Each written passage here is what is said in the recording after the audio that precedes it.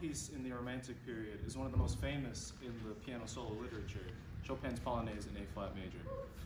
Although more commonly known as the Heroic Polonaise, this piece features a lot of popular techniques of the time, such as virtuosic technique and very memorable themes. Although called a Polonaise, this piece does not feature the Polonaise theme, the Polonaise rhythm in the main theme, with that Polonaise rhythm actually being featured in the interludes between the main theme.